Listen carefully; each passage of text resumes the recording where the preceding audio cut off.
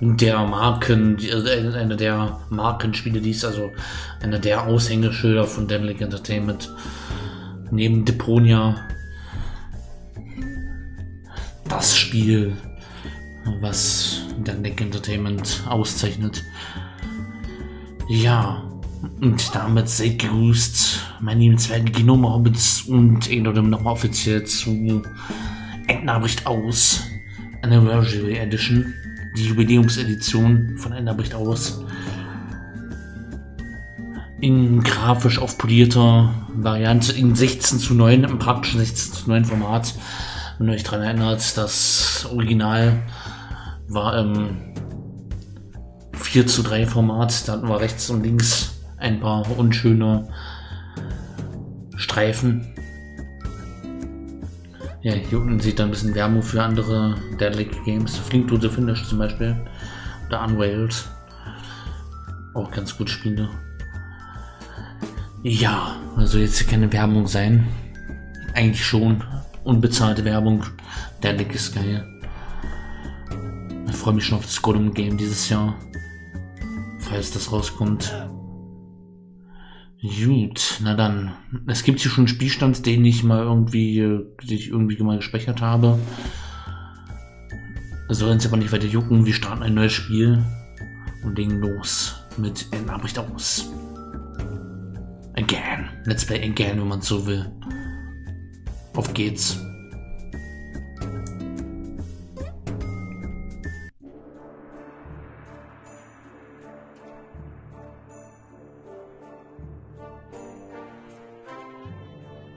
Daedalic präsentiert. Ein Spiel von Proki.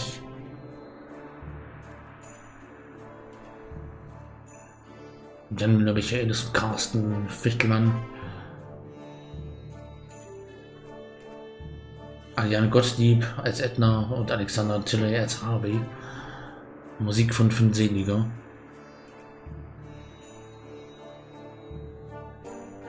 Olaf Kasper, Felix Engel, Jan Müller-Michaelis waren beim Programmieren dabei. Jan Müller-Michaelis hat das Charakterdesign, die Hintergrundkunst gemacht. Pah.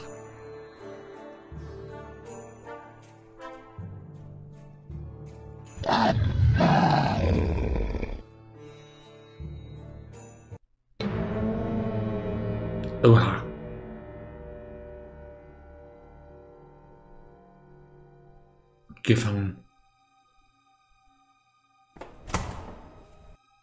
Was ist los?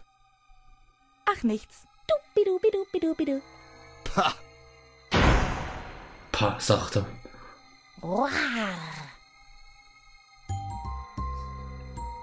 Und damit jetzt richtig willkommen zu Nachricht aus. Advan äh, äh, äh, Anniversary Edition. Ein Bekloppter, ein Stoffhase und Edna brechen aus. Ja. Ich kann nur mit Harvey reden. Reden. Ähm, hallo? Hallo Edna. Was gibt's? Wo sind wir hier? Keine Ahnung. Aber ich will hier raus. Ich auch. Es scheint eine Art Irrenhaus zu sein. Das kann sich Ach, doch nur um ein Quatsch. Missverständnis handeln. Ein großes, Irren, äh, ein großes Missverständnis. Ein großes Irrenhaus auch, ja. Wer zum Teufel bist du? Und was? Und warum kannst du sprechen? Ich bin dein Kumpel Harvey. Eine Schande, dass du mich nicht wiedererkennst. Ich helfe dir herauszukommen. Und deinem Gedächtnis auf die Sprünge. Er sieht aber ganz anders aus. Deswegen haben wir ihn nicht erkannt. Wie geht es dir, Harf? Mir ginge es besser, wenn wir hier endlich rauskämen.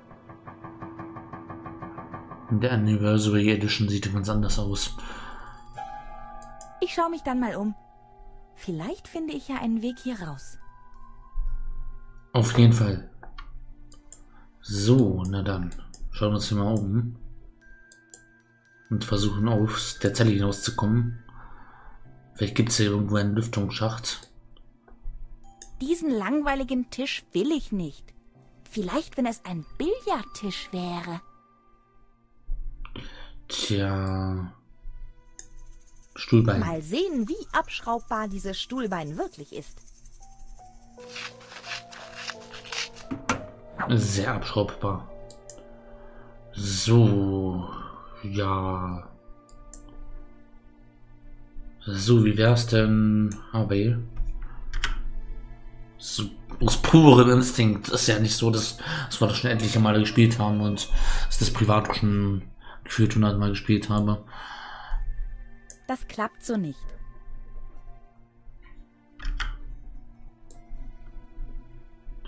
Ähm, benutzen Stuhlbein mit Harvey.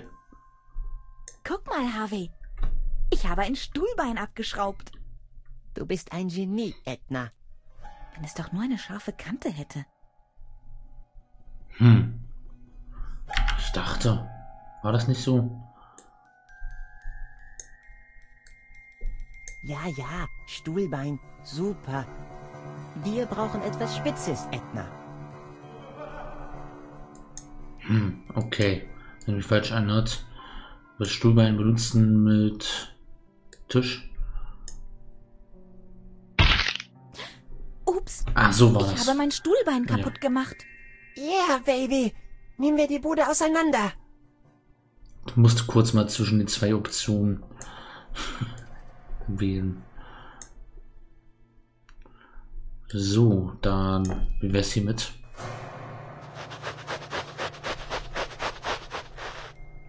Kratzen wir mal hier ein bisschen rum.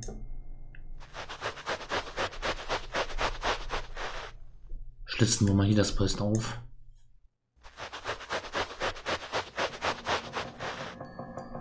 Natürlich wird die Story hier ähm, Endabrecht aus. In dieser neuen Version Hage nur die gleiche sein. Nur die Grafik ist ein bisschen anders. Aber es ist schön, das nach der langen Zeit wieder zu spielen. Ist jetzt schon über zwei Jahre her, wenn ich mich richtig erinnere. Das war es gestreamt haben zum letzten Mal. Da wird es langsam Zeit für ein Let's Play Game. Wenn man das auf YouTube sieht, wahrscheinlich sogar fast drei Jahre schon her. Ich werde es auf YouTube dann. Das kann ein bisschen dauern noch.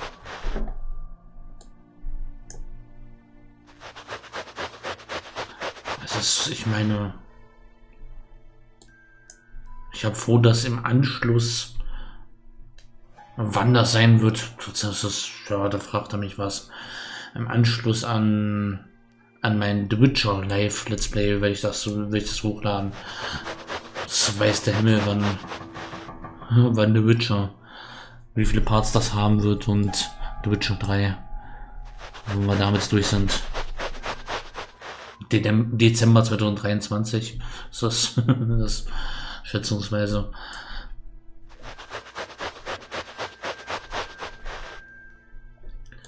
Ja, genug von anderen Projekten. Okay, das können wir nicht schlitzen. Können wir da schlitzen? Können wir. Hier können wir auch schlitzen. Yay. Warum wir hier nicht schlitzen können? Das frage ich mich seit dem ersten Part in Nachricht aus damals.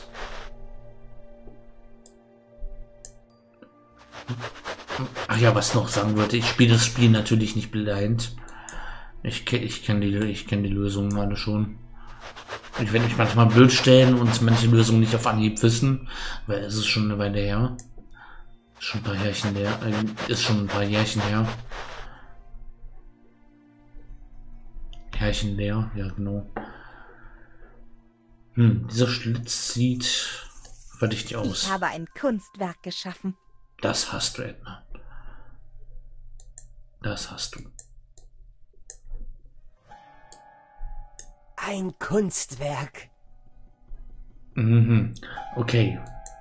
Wie wäre es, wenn wir jetzt mal ans Gitter klopfen? Sesam, öffne dich.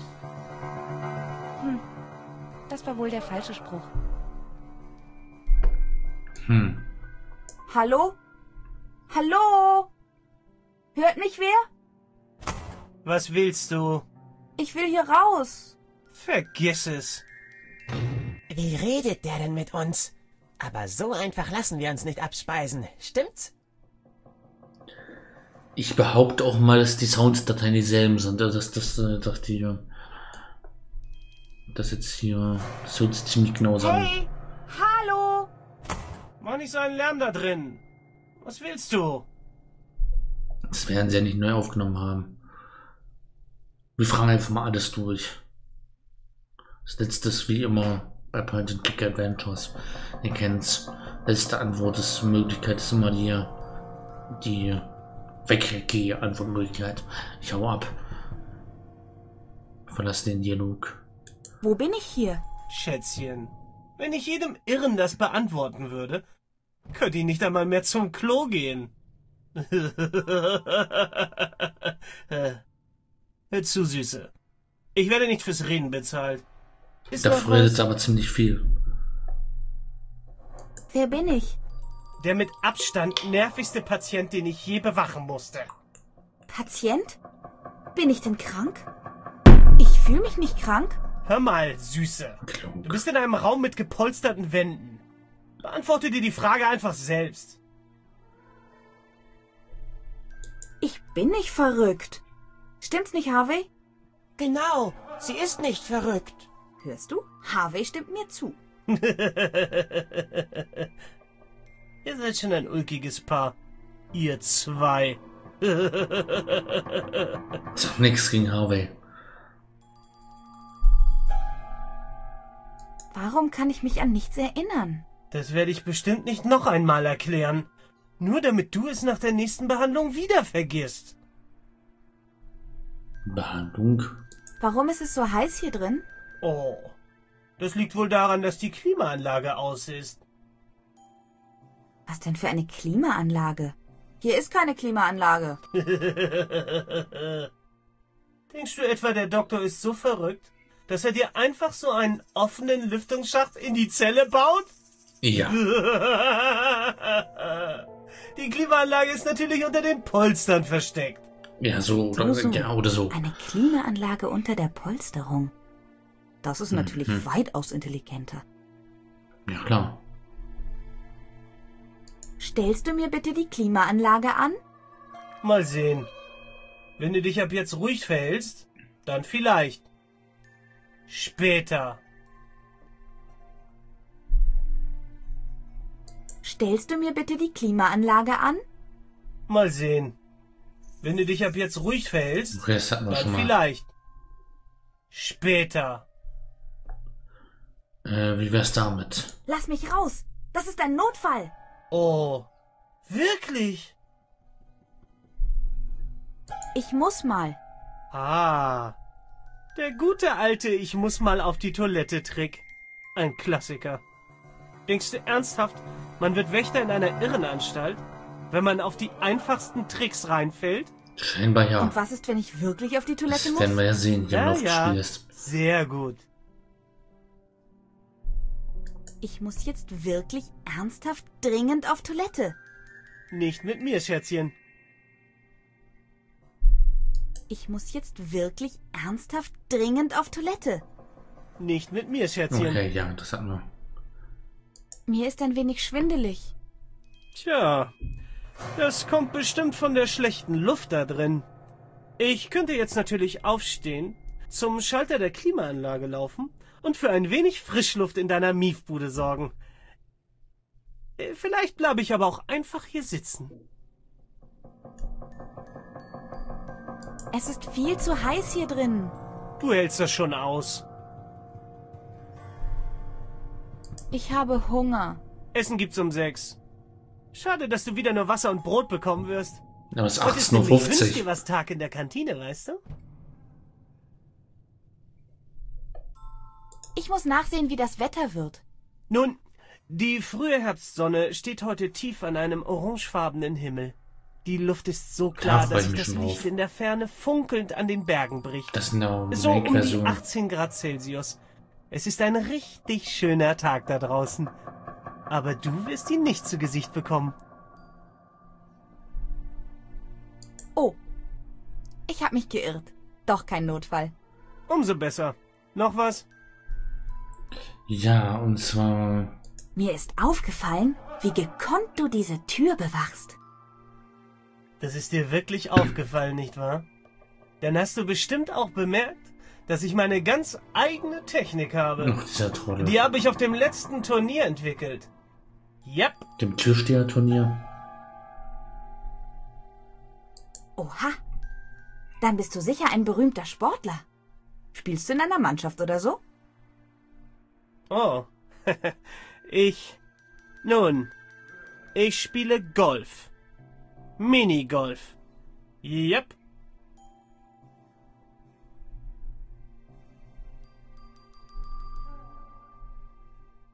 Minigolf. Mir wird ganz duselig. Und du hast allen Grund dazu, Schätzchen. Weißt du was? Ich stell dir die Klimaanlage an. Dann Yay. kannst du dich ein wenig abkühlen.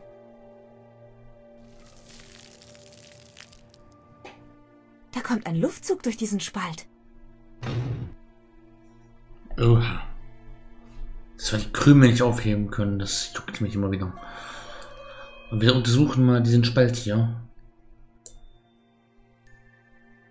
Hinter diesem speziellen Polster scheint es noch weiter zu gehen. Aha. Was meinst du dazu, Harvey? Hast du das auch gesehen? Dahinter scheint es weiterzugehen. Mit bloßen Händen komme ich hier nicht weiter. Hm. Vielleicht.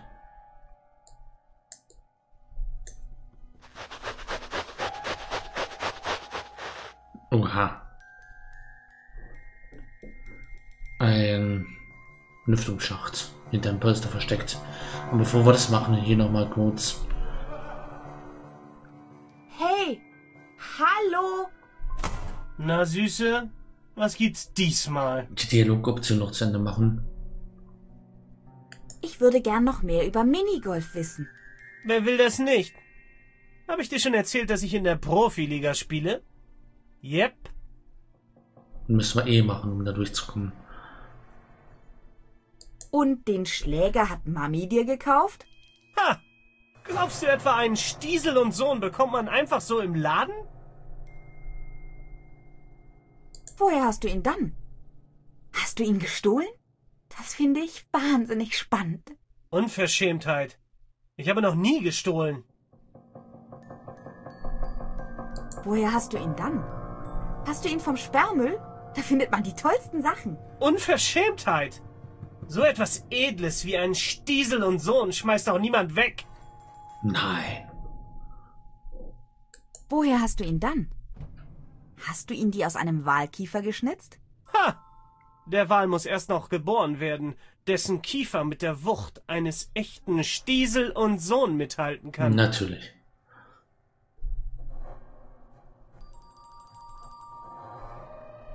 Dein Schläger interessiert mich eigentlich nicht die Bohne. Das zeigt nur, wie wenig du von Sport verstehst. Was uns zurück zum Thema bringt. Mama Minigolf! Was willst du noch über den Sport der Angestellten des Monats wissen? Aha.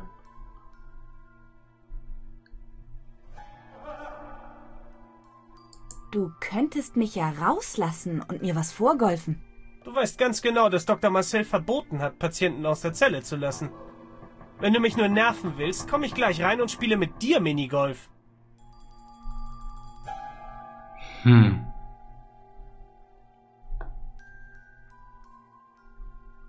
Minigolf. Mir wird ganz duselig. Und du hast allen Grund dazu, Schätzchen. Weißt du was? Ich lass dir die Klimaanlage noch einen Augenblick an. verdammt. Man darf seine Fans ja nicht schwitzen lassen. Wird noch was anderes mit ihm. Hey? Hallo? Was willst du denn jetzt schon wieder?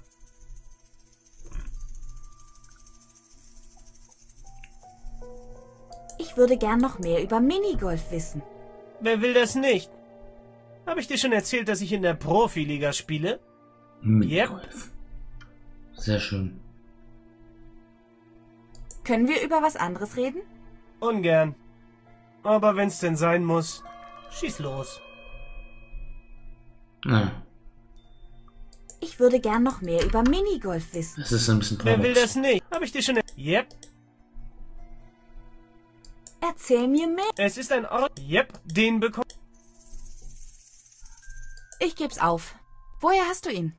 Den hat Das mir mein Vater gehört. gemacht. Gotthold Franz von Stiesel Senior. Echt? An seinem Sterbebett übergab er mir aus klapprigen Händen sein Stiesel und Sohn Titanium Siebener Eisen. Sein Glücksschläger. Er sagte mir, ich solle damit spielen, wie er mich zu spielen gelehrt hatte. Klingt irgendwie nach einer Vater-Sohn-Kiste. Von einer Das wird Kiste immer ein weiß ich bisschen nicht. fies. Mein Vater brauchte keine Kiste. Er war auch so groß genug. In manchen Nächten habe ich mich allerdings tatsächlich auf eine Kiste gestellt. Nur um zu sehen, wie es sich anfühlt, so groß zu sein wie mein Vater. Oh. Sprichst du von so einer Kiste? Ähm. Tja. Nein. Aber danke, dass du mich mit diesem zusätzlichen Wissen belastet hast. Papas Liebling, hm? Mein Vater war ein großer Mann. Und ein großer Minigolfer, da bin ich sicher. Yep. Ob mein Vater wohl auch Minigolfer war? Was sagst du da, Schätzchen? Dein Vater war so einiges, aber bestimmt kein Minigolfer.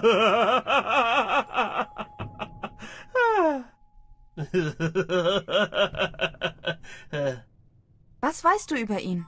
Einige Dinge sollten lieber in Vergessenheit bleiben. Das ist Oh sehr Mann. gemein. Ihr Vater und Minigolfer, du kriegst die Tür nicht zu. Genug gelacht. Was das jetzt oder willst du noch was wissen? Hm. Warum nimmst du nicht Papis Schläger und schlägst ihn dir über den Kopf? So etwas Gemeines. Mein armer Vater. Na warte. Mal gucken, ob du immer noch lachst. Wenn ich dir die Klimaanlage wieder ausstelle. Oh nein. Steht die Klimaanlage aus. So, die Klimaanlage ist ruhig. Da ist ein Ventilator hinter dem Gitter. Aber der ist zum Glück ruhig. So, wie wär's denn mit den Schrauben? Ohne Werkzeug kriege ich die nicht ab. Damals hättest du das gekonnt. Wie meinst du das? Damals hättest du die Schrauben lösen können. So meine ich das. Hä? Erzähl mir mehr. Es ist ein Schlitzstuhlbein, aber eine Kreuzschraube. Hm. Sehr schön. Eine Harvey. Erzähl mir was. Es ist zum Heulen, Harvey. Ich bekomme diese Schrauben nicht auf. Ach, solche Schrauben isst du doch zum Frühstück. Als du klein warst, hätten die dich nicht aufgehalten. Wie meinst du denn das? Naja, früher hattest du einige coole Tricks drauf. Ähm.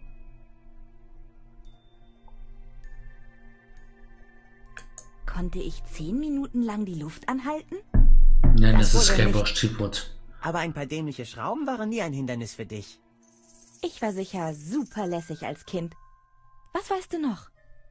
Äh, so funktioniert das nicht. Vergiss nicht, ich bin nur eine Projektion deines Unterbewusstseins. Nobody's Ja. perfect. Ich kann dir auf die Sprünge helfen. Aber dazu musst du mir Sachen zeigen, die dich an deine Kindheit erinnern. Wie die Schrauben? Exacto, Lucci. Und dann? Dann tempomorphe ich uns in die Vergangenheit. Wie, wie toll. Ich bin bereit, Harvey. Soll ich dich jetzt in die Vergangenheit tempomorphen? Ja, bitte.